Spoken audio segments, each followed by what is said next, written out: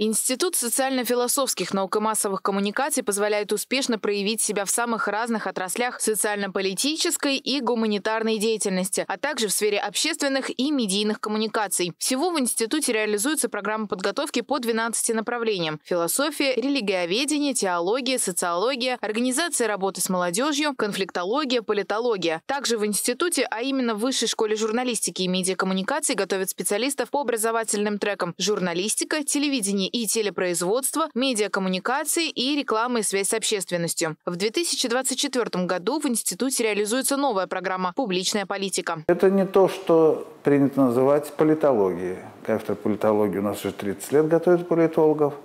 Публичная политика – это, в первую очередь, так я думаю, разговор о политических технологиях о технологиях, которые определяются социальными, экономическими, коммуникативными, культурными, мировоззренческими контекстами, в которых э, существует политика. То есть если политолог – это теоретик политики, это фундамент политики, философские основы, ну понятно, да, философ политики, можно даже сказать, то публичная политика или представитель публичной политики как направление – это политик, который или ученый, который стоит на грешной земле и руками трогает, изучает и анализирует реальную политику.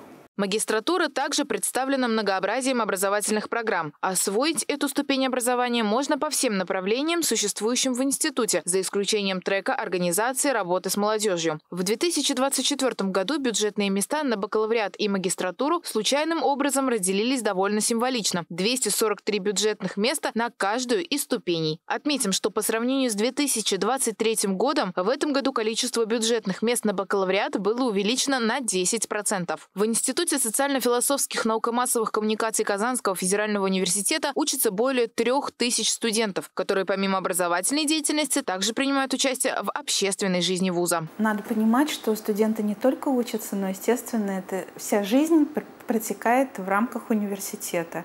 То есть мы а, стараемся создать условия, чтобы студентам было интересно.